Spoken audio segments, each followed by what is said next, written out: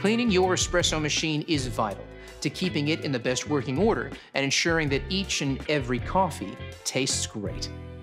You may notice a regular buildup of coffee residue in your portafilter and filter basket, which should be kept clean regularly. Take out the filter basket and wash it with a scouring brush and light detergent in hot water. Alternatively, you can use a cleaning tablet to soak the metal part of the portafilter in hot water.